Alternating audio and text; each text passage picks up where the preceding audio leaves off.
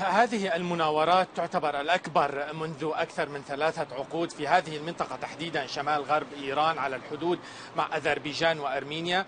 كان هناك انتقادات واضحة من الرئيس الأذري إلهام علييف إلى لهذه المناورات في توقيتها وفي مكانها وقال بأن هذه المناورات لم تكن سابقا خلال العقود الثلاثة الماضية عندما لم تكن أذربيجان مسيطرة على هذه المناطق الحدودية الحدودية وكانت هذه المناطق بيد أرمينيا.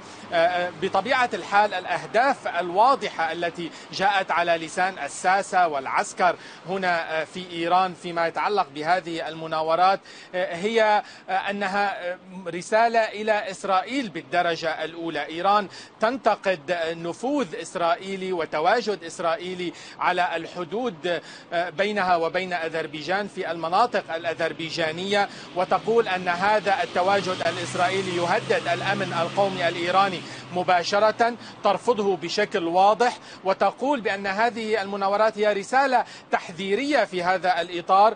آه، إذا لم يتم اتخاذ آه، آه، قرارات واضحة وإخراج هذه العناصر الإسرائيلية وأيضا العناصر التي تم استخدامها كما يقول العسكر هنا من من عناصر تنظيم الدولة خلال الحرب بين أذربيجان وأرمينيا تم استخدام بعض العناصر من تنظيم الدولة إلى هذه المنطقة. إذا لم يتم إخراج كل هؤلاء العناصر الإسرائيلية ومن تنظيم الدولة من المنطقة فسيكون لإيران الحق باتخاذ ما تراه مناسبا في هذا الإطار. هذا فيما يتعلق بالتهديد الأمني المباشر كما تصنفه إيران. أما ما يتعلق بالأوضاع السياسية فإيران بطبيعة الحال تنتقد أيضا الدور التركي في هذا المجال ومحاولات تركيا فتح الكوريدور من تركيا وصولا إلى آه، آه، بحر قزوين عبر بعض التغييرات الجيوسياسية من نتائج الحرب التي حصلت حرب آه، كاراباخ بطبيعة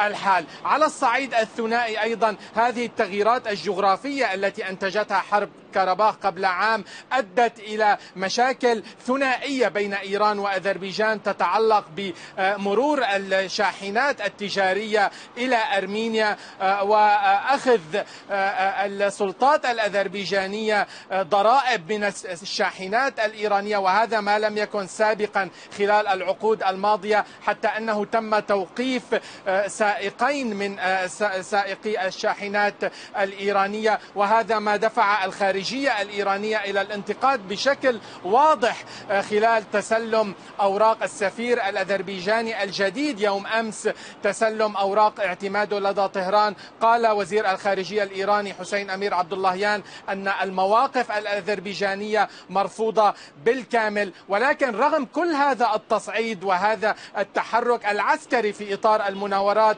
تؤكد طهران بأن الحلول تبقى دبلوماسية في إطار التعاون بين إيران وأذربيجان كدولتين جارتين خاصة نعم. في ظل الامتدادات الديمغرافية للقومية الأذرية في إيران أربع محافظات مجاورة لدولة أذربيجان فيها أغلبية أذرية في إيران. شكرا جزيلا لك حازم كلاس مراسلنا من طهران.